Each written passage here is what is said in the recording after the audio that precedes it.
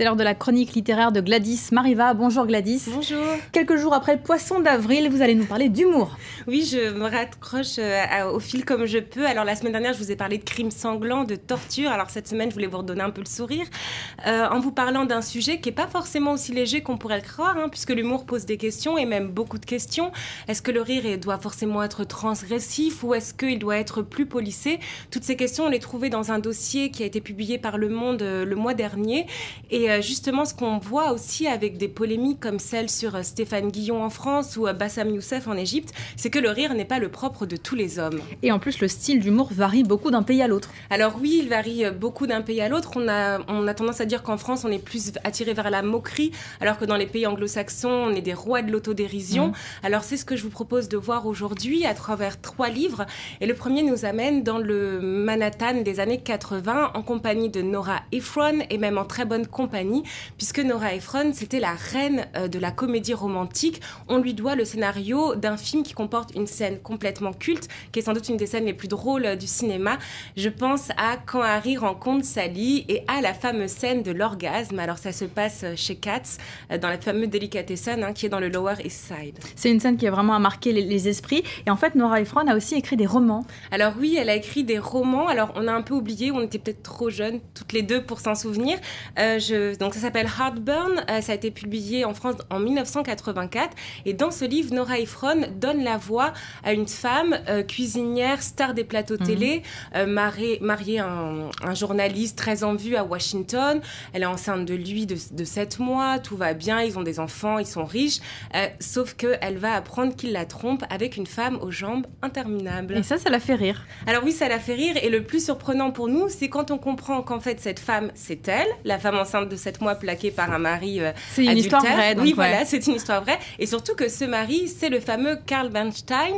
Carl Bernstein, le scandale du Watergate, journaliste au Washington Post. Alors on comprend que ce roman, c'est une vengeance, une vengeance, euh, une vengeance extrêmement drôle, hein, qui a été adaptée à l'écran euh, en film, donc avec Jack Nicholson et Meryl Streep. Une vengeance avec un humour qui se décharge un peu comme un flot hystérique qui rappelle un peu Woody Allen. Woody Allen, qui est un grand de l'auto-analyse et de l'autodérision. Alors oui, Nora Ephron d'ailleurs, qui est décédée l'année dernière, le connaissait très bien. Euh, et ce qui nous plaît vraiment chez elle, dans ce livre, c'est son héroïne.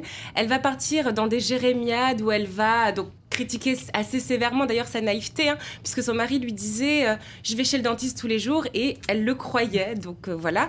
Elle va aussi entre, entrecouper toutes ces jérémiades de recettes de cuisine. Tout en se demandant si elle avait un peu moins essayé de perfectionner sa vinaigrette ou d'être la femme parfaite des années 80, elle se serait peut-être rendu compte qu'il y avait quelque chose qui n'allait pas. Alors en fait, dans ce livre, Nora Ephron euh, montre surtout euh, à quel point sa maxime était juste. Elle qui disait, il ne faut pas être la victime de sa vie, mais l'héroïne. Et aujourd'hui, elle inspire encore New York, hein, puisque une de ses pièces est adaptée en ce moment à Broadway avec Tom Hanks euh, dans Rien le rôle principal. De l'autodérision, donc aux États-Unis et en France, c'est plutôt de la moquerie. Alors oui, euh, roi de la moquerie qui fait pas tout le temps plaisir à tout le monde.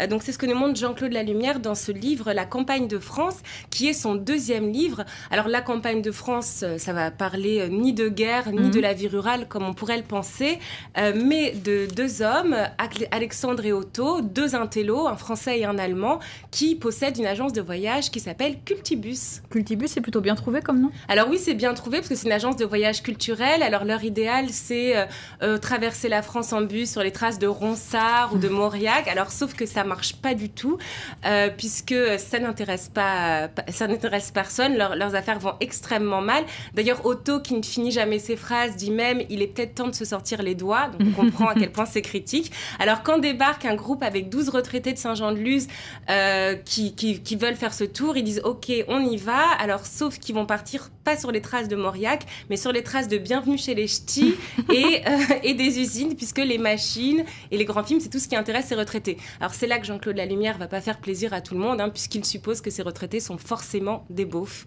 Mais on rit quand même dans ce, dans ce roman. Ben oui, on rit quand même, puisqu'il est extrêmement fort, Jean-Claude Lalumière. Euh, si sur une page, euh, une, un trait d'humour ne va pas nous plaire, la page suivante, on peut être sûr à tous les coups qu'on va exploser de rire.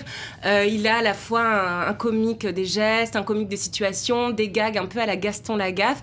Et surtout, ce qui nous montre, c'est que finalement, l'humour ne peut pas être consensuel, euh, au risque d'être extrêmement plat. Et ça, c'est quand même une bonne raison de se jeter sur son livre. On termine ce tour du monde de l'humour au Japon.